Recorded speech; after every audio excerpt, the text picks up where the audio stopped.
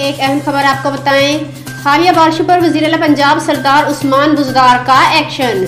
वज़ीर पंजाब ने पंजाब इंतजामिया को हाई अलर्ट जारी कर दिया। पुलिस इंतजामिया और मुतल इदारे सूरत हाल से निमटने के लिए तैयार रहे।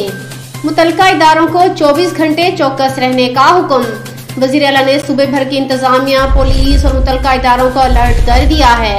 कहते हैं, तमाम अफसरान दफातर में बैठने की बजाय खुद फ़ील्ड में निकले। तमाम इलाकों की सूरत हाल खुद मुजाहिजा करें और किसी भी वाक्य की सूरत में खुद इमदादी कार्रवाइयों की निगरानी करें।